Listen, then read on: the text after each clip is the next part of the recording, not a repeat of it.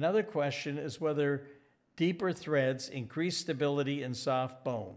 Here is a marketing piece from Zimmer Dental that compared the initial torque of its tapered screw vent implant to that achieved with the Nobel Active, Nobel Replace, and Straumann straight bone level implant.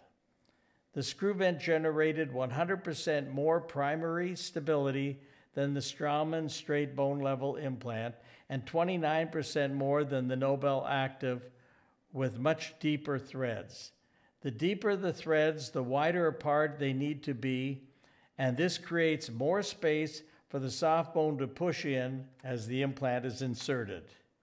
With shallower threads, the inner core of the threads compress the soft bone as the implant is inserted, self tapping, generating higher initial torque and greater stability. I am no fan of the use of osteodensification drills that run backwards, supposedly compressing the bone as it pushes it laterally.